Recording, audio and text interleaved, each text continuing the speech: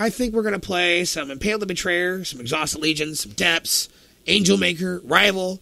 Uh, let's do some Vonage Code. I Wrestled a Bear once.